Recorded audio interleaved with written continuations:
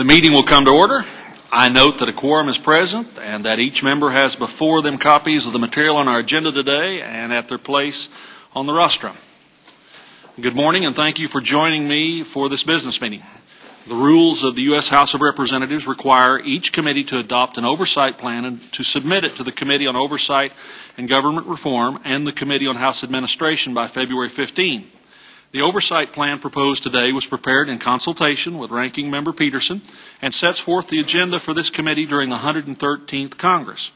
The plan does not limit in any way the matters we may decide to examine at a later date, but rather highlights key policy issues in our jurisdiction to make certain program, make sure certain programs are running efficiently and responsibly.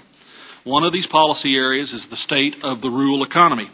We plan to hold our first hearing in two weeks to examine this issue. This will entail not only evaluating how our producers are faring since experiencing our historic drought, and in some areas of the country, a multi year drought, but also measuring the competitiveness of rural economies. Another matter of oversight will be making sure that the one year extension of the 2008 Farm Bill is implemented in a way that provides producers with certainty for the 2013 crop year. The committee will also continue to provide rigorous oversight of the Commodity Futures Trading Commission and its implementation of the Dodd Frank Act. Legislatively, the committee will continue to introduce and pass legislation that will protect end users, our nation's farmers, ranchers, and businesses from disruptions in their operations caused by a flood of new CFTC rules and regulations. Another important focus of the committee will be reauthorization of the CFTC.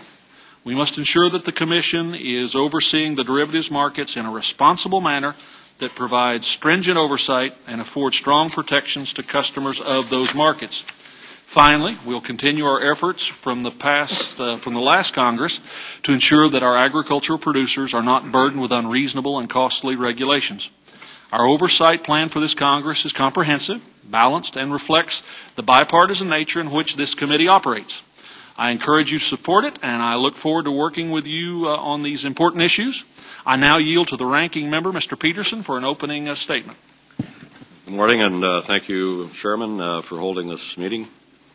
As the uh, committee's oversight plan shows, there is much work ahead for us in this Congress, so I look forward to working with the committee um, and my colleagues on both sides of the aisle to see that we are properly overseeing programs under our jurisdiction, both at USDA and CFTC. I'm also looking forward to considering a new farm bill, which I uh, think um, should happen. We can get to after we uh, deal with all these budget issues that are coming up in the next couple months.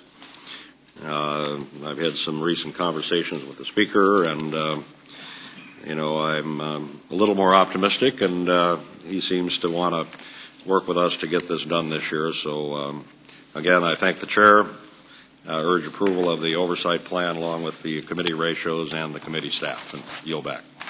Gentleman yields back. The first order of business is the committee oversight plan.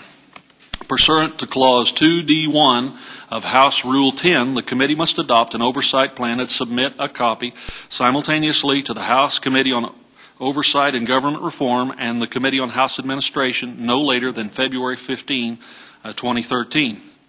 I should also note that this plan has been prepared in full cooperation with the majority and minority staffs and distributed to members' offices in advance of the meeting. Uh, without objection, the committee oversight plan is adopted and will be forwarded to the responsible committees as required by House rules. Is there any objection to uh, that? Seeing no objection, so ordered. The next item of business is an amendment to the committee rules for the 113th Congress, and I would like to recognize counsel for a brief explanation of the changes in the, uh, to be considered. Counsel. Thank you, Mr. Chairman. The en bloc amendment amends the committee rules adopted by the committee on January 23rd to include the roster ratios of the several subcommittees for the 113th Congress. Thank you, Mr. Chairman. Thank you, Counsel. I think that's self-explanatory.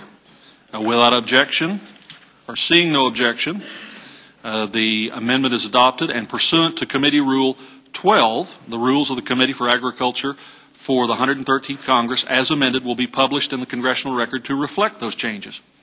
Finally, pursuant to Clause 9 of Rule 10, there is at each member's desk a copy of the majority, minority, and nonpartisan committee staff assignments that, without objection, will be adopted by the committee. Seeing no objection, so ordered. Seeing no further matters on the agenda, the committee will now adjourn, subject to the call of the chair. Thank you very much for attending today.